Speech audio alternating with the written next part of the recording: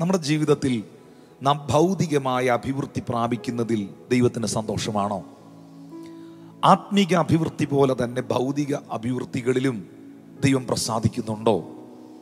എന്നാൽ എനിക്ക് പറയാനുള്ളത് ഇത് രണ്ടും നിങ്ങൾ വളരെ ദൈവസന്നിധിയിൽ പ്രാർത്ഥനയോടെ ദൈവവചന അടിസ്ഥാനത്തിൽ കാണണം എന്നുള്ളത് തന്നെയാണ്.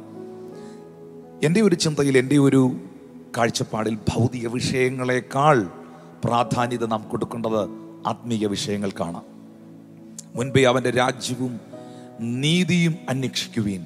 അതോടുകൂടെ ഇതൊക്കെയും നിങ്ങൾക്ക് ലഭിക്കും. എന്തൊക്കെ എനിക്ക് ലഭിക്കും എന്നുള്ളതിലല്ല ഞാൻ കോൺസെൻട്രേറ്റഡ് ആയിരിക്കേണ്ടത്.